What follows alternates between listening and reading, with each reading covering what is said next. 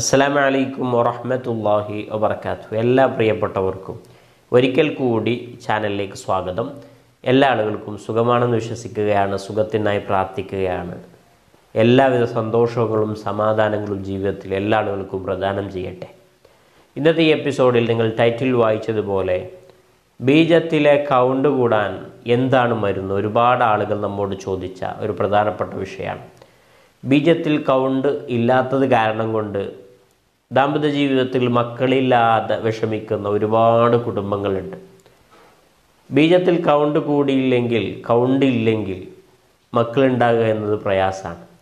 ഈ വിഷയങ്ങൾ പറഞ്ഞ് ദ്വാ ചെയ്യാനും മറ്റും നമ്മെ ഏൽപ്പിച്ച ഒരുപാട് ആളുകളുണ്ട്.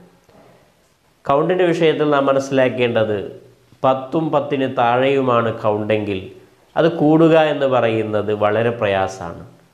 ചില ആളുകൾക്ക് കൂടിയിട്ടുണ്ട് നിത്യമായിട്ടുള്ള പ്രാർത്ഥനകൾ കൊണ്ട് അള്ളാഹുവിനോടുള്ള പ്രാർത്ഥനകൾ കൊണ്ട് ദൈവത്തിനോടുള്ള നിത്യമായിട്ടുള്ള പ്രാർത്ഥനകൾ കൊണ്ട് അത്തരം വിഷയത്തിൽ ഫത്തുണ്ടായിട്ടുണ്ട് അല്ലാതെ നാം വൈദ്യശാസ്ത്രത്തിലും മറ്റും നോക്കിയാൽ പത്തിന് താഴെ കൗണ്ടാണെങ്കിൽ അത് കൂടുക എന്ന് പറയുന്നത് വളരെ പ്രയാസമാണ്. അതുകൊണ്ട് തന്നെ അത്തരം ആളുകളാണെങ്കിൽ നിരന്തരമായിട്ട് നാം റബ്ബിനോട് ചോദിച്ചുകൊണ്ടേയിരിക്കുക. മക്കളില്ലാത്ത എല്ലാ ആളുകൾക്കും അള്ളാഹു മക്കളെ തരട്ടെ. ദൈവം മക്കളെ തരട്ടെ എന്ന് ഈ അവസരത്തിൽ പ്രാർത്ഥിക്കുകയാണ്. കൗണ്ട് കൂടാൻ വേണ്ടി നാം ചെയ്യേണ്ട രണ്ട് മരുന്നുകളാണ് ഞാൻ ഇപ്പോൾ പരിചയപ്പെടുത്തുന്നത്. ഈ രണ്ട് മരുന്നുകളും നമുക്ക് വളരെ എഫക്റ്റീവായ രണ്ട് മരുന്നുകളാണ്. ഒന്നാമത് കൃത്യമായിട്ട് ശ്രദ്ധിക്കുക. ഒരു പിടി കറുകപ്പുല്ലെടുക്കുക. കറുകപ്പുല്ലെന്ന് പറയുമ്പോൾ നമ്മുടെ മുയലുകളും മറ്റും തിന്നുന്ന കറുകപ്പുല്ല്. ആ പുല്ല് ആരോട് ചോദിച്ചാലും ഏത് സ്ഥലത്തുണ്ടാകുന്ന സാധനമാണ് കറുകപ്പുല്ല്? അത് ഒരു പിടി എടുക്കുക. ഒരു പിടി എടുത്ത് നന്നായിട്ട് കഴുകി അതിലെന്തെങ്കിലും കീടാണുക്കളോ അല്ലെങ്കിൽ പുഴുവോ അങ്ങനെ എന്തെങ്കിലും ഉണ്ടോ എന്ന് കൃത്യമായിട്ട് ശ്രദ്ധിച്ച് തന്നെ കഴുകണം. അങ്ങനെ കഴുകിയെടുത്ത് വെക്കുക. അതോടൊപ്പം നമുക്ക് ആവശ്യമായിട്ടുള്ളത് തിരുതാളിയാണ്. തിരുതാളിയും ഒരല്പം ഒരു പിടി തിരുതാളിയും എടുത്ത് നന്നായിട്ട് കഴുകി അവിടെ വെക്കുക. ഇത് രണ്ടും ഒന്നിച്ച് നന്നായിട്ട് അരച്ചെടുക്കുക. രണ്ടും ഒന്നിച്ചിട്ടിട്ട് നന്നായിട്ട് അരച്ചെടുക്കുക. അരച്ചെടുത്തിട്ട് ഒരു തുണിയിലോ അല്ലെങ്കിൽ കോട്ടൺ തുണിയിലോ മറ്റോ ഇട്ട് നന്നായിട്ട് പിഴിഞ്ഞതിന്റെ നീരെടുക്കുക.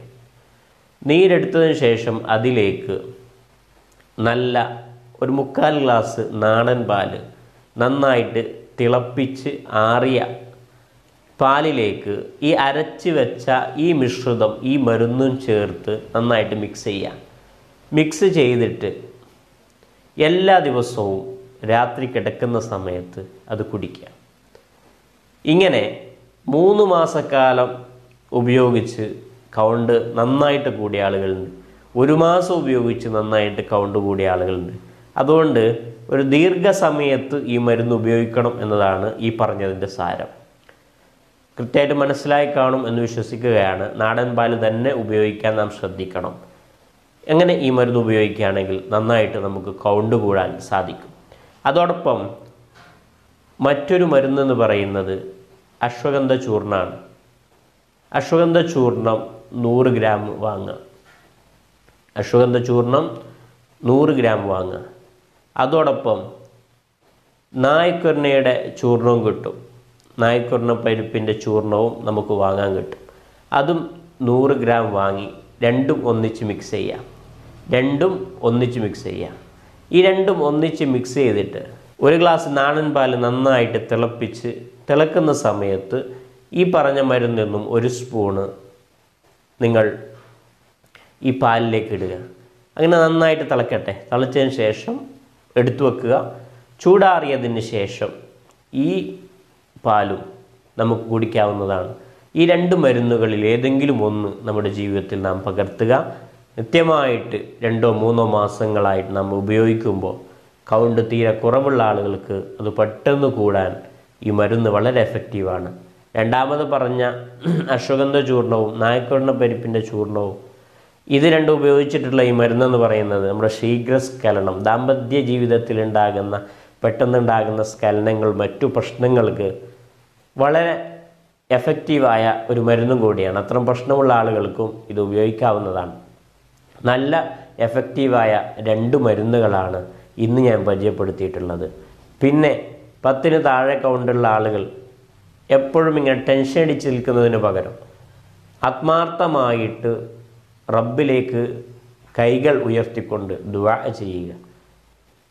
ഈ വീഡിയോ ദീർഘിച്ചു പോയതിൽ ക്ഷമ ചോദിച്ച് അവസാനിപ്പിക്കുകയാണ്. അസ്സലാമു അലൈക്കും വറഹ്മത്തുള്ളാഹി അസ്സാം അസ്സാമലൈക്കും ഹിമാമി ഹെയർ ഓയിൽ ഞാനും യൂസ് ചെയ്യുന്നുണ്ട് ഇപ്പോൾ ഒരു ഒരു മാസത്തോളമായി യൂസ് ചെയ്ത് തുടങ്ങിയിട്ട്. എന്റെ ഇവിടൊക്കെ മുടികൾ ശരിക്കും കൊഴിഞ്ഞു പോയേക്കാണ്. ഇതിലൊക്കെ ഇപ്പോൾ ചെറിയ മുടികൾ വന്നു തുടങ്ങിയിട്ടുണ്ട്. അതുപോലെ ഈ ഭാഗങ്ങളിലും ഇവിടൊക്കെ ആയിട്ട് ശരിക്കും വന്നിട്ടുണ്ട്. ഉള്ളും വെച്ചു തുടങ്ങിയിട്ടുണ്ട്.